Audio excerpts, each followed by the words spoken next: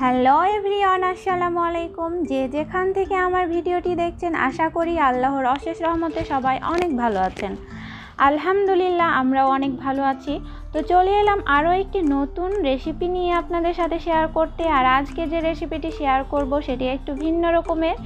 আশা করি আমার ভিডিওর ইন্ট্রোটা দেখে বুঝে গেছেন।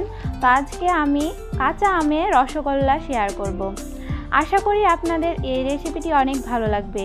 অনেকে তো অনেক রকমের রসগোল্লা খেয়েছেন, কিন্তু ভিন্ন রকমের এই কাঁচা আমের রসগোল্লা, টক মিষ্টি একবার করে দেখুন বাসায়। আশা করি আপনাদের অনেক ভালো লাগবে।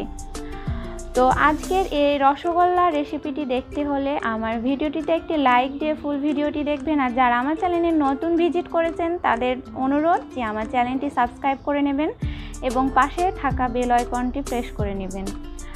তো চলুন তাহলে গাইস ভিডিওটি শুরু করা যাক।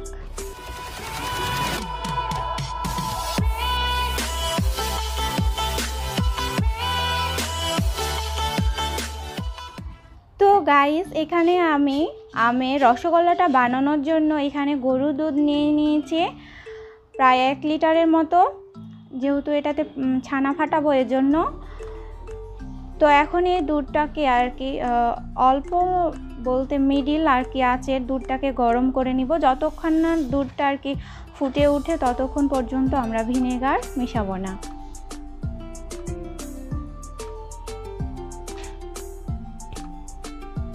তো গাইস দেখতে পাচ্ছেন আর কি দুধটা ফুটে উঠেছে। এখন আমি এখানে দুই টেবিল চামচ ভিনেগার ও দুই টেবিল চামচ পানির মিশ্রণটি মিশ করে নিয়ে দুধে আর কি অল্প অল্প করে ঢেলে দিচ্ছি।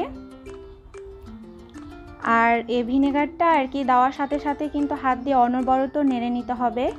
তাহলে আর কি ছানাটা ভালোভাবে আর কি ফেটে যাবে। তো দেখতে পাচ্ছেন, ছানাটা আর কি আমার ফাটানো হয়ে গেছে। তো আমি আর কি একটা সুতি আর কি ন্যাকড়া দিয়ে ছানাটাকে প্রায় অনেকক্ষণ আর কি ঠান্ডা করে রেখেছি, আর কি পানি শুকিয়ে নিয়েছি। এখন আমি এই ছানাটাকে হাত দিয়ে ভালোভাবে আর কি মুছে নিব একটু। তো আমার একটু মধ্যে নেওয়া হয়ে গেছে। এখন আমি এখানে অ্যাড করে দিব টু টেবিল চামচ ময়দা।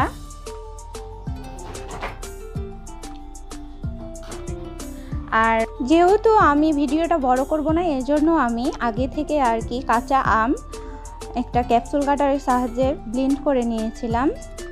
সেই কাঁচা আমের পিউরিটা এখন আমি এখানে এক চামচ দিয়ে দিলাম।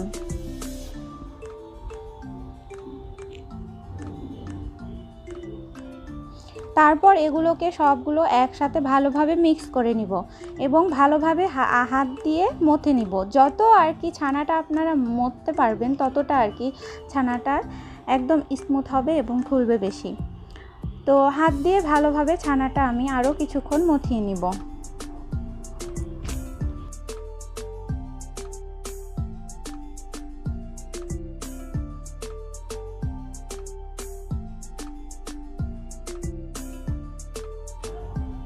এভরিওয়ান ছানাটা আমার মথানো হয়ে গেছে, এখন আমি এখানে প্রায় চার পাঁচ ফোঁটার মতো গ্রিন ফুড কালারটা দিয়ে দিলাম যাতে আর কি রসগোল্লার কালারটা ভালো আসে।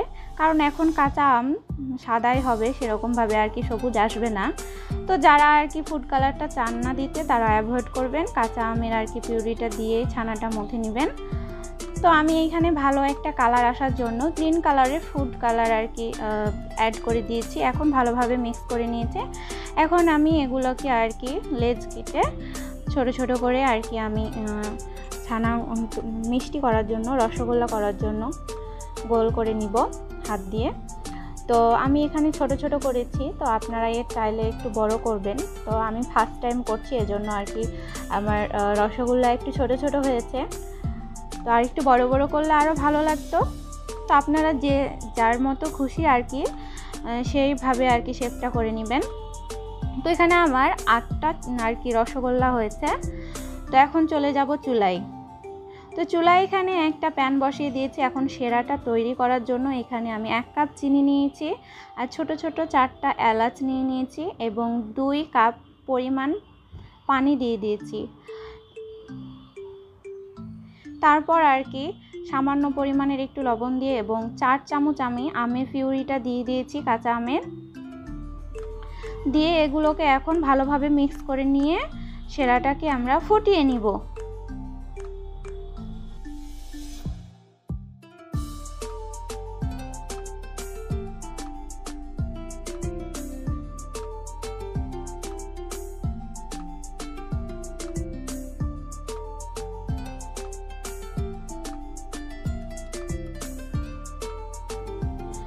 তো গাইস দেখতে পাচ্ছেন সেরাটা ফুটে গেছে।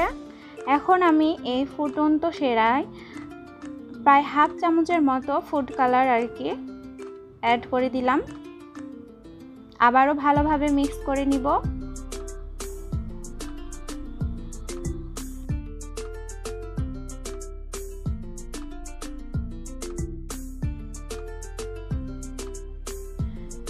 সেরাটা ফুটে উঠেছে, তাই এখন আমি রসগোল্লা আর কি মিষ্টিগুলো একটা একটা করে ছেড়ে ছেড়ে দিলাম আর কি সেরাই। তারপরে আমি দশ মিনিটের জন্য এই আর কি সেরাটা সহ রসগোল্লাটা তাপ দিয়ে নিব।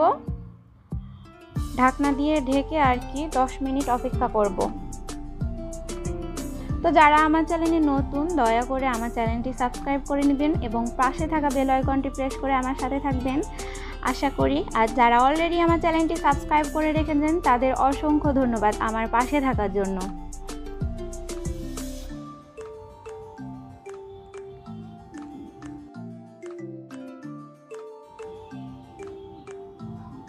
তো ফিরে আসছি আর কি, প্রায় দশ মিনিটের মতো। পরে দেখতে পাচ্ছেন আমার আর কি মিষ্টিগুলো প্রায় ফুলে ডাবল হয়ে গেছে। এখন আমি এটাকে আর কি জালটা অফ করে দিব চুলাটা। তারপরে এক ঘণ্টার মতো অপেক্ষা করব। তো গাইজ ফিরে আসছি এক ঘণ্টা পরে। দেখতে পাচ্ছেন আমার রসগোল্লা, কাঁচা আমের রসগোল্লার তৈরি আর আজকের এই একটি ভিন্ন রকম রসগোল্লার রেসিপিটি আপনাদের কেমন লেগেছে অবশ্যই আপনারা লাইক কমেন্ট করে আর কি কমেন্ট বক্সে কমেন্ট করে জানিয়ে দিবেন। আর যদি আমার আজকের এই রসগোল্লা রেসিপিটি কাঁচা আমের বিশেষ করে রসগোল্লা রেসিপিটি আপনাদের ভালো লেগে থাকে, তাহলে বেশি বেশি করে আপনাদের বন্ধু ও ফ্যামিলির সাথে শেয়ার করবেন। আর আমার নেক্সট বিভিন্ন আর কি রেসিপি ব্লগ দেখতে আমার চ্যানেলটি সাবস্ক্রাইব করে আমার পাশে থাকবেন। তো আশা করি গাইস আমি আপনাদের সাথে আমের রসগোল্লা রেসিপি আপনাদের কাছে রসগোল্লাটা আর কি চামচ দিয়ে আমি তো দেখতে পাচ্ছেন আমি আপনাদের কতটা সুন্দর হয়েছে। তো আজকে এই পর্যন্ত সবাই ভালো থাকবেন সুস্থ থাকবেন। আল্লাহ হাফেজ। আসসালামু আলাইকুম। রসগোল্লাটি।